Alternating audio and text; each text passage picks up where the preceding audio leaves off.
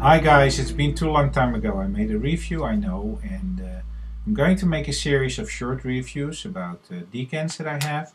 Don't know how often, but I'll just try. And I will try to make them within one and a half minutes. And uh, gives you some insight in decants that I have and new fragrances or old fragrances, just things that I never reviewed but I want to, to tell you about. And the first one I want to show you is a Dutch-based house it's called Abel or Abel, coming from the name Abel Tasman, the guy who discovered New Zealand. And there's some connection with New Zealand because the, the owner of this house, who was working in vineyards and with wine barrels and in with herbs and natural stuff, comes from New Zealand. And um, she is based in Amsterdam. She followed her husband Dave. She she has a nose from New Zealand that she likes to work with. It's Isaac Sinclair and this fragrance has an international atmosphere. It is. Uh, it has some things from Brazil. It is kind of blended, I think, in New York, and now they're they're in Amsterdam.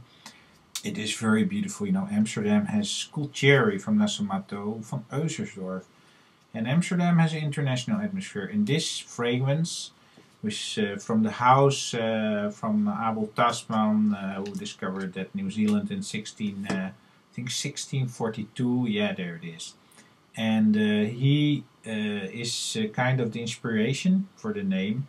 Called Vintage 13 because there are like only 2000 bottles made in 2013 and uh, it has a beautiful packaging. This all natural, the fragrance is also all natural.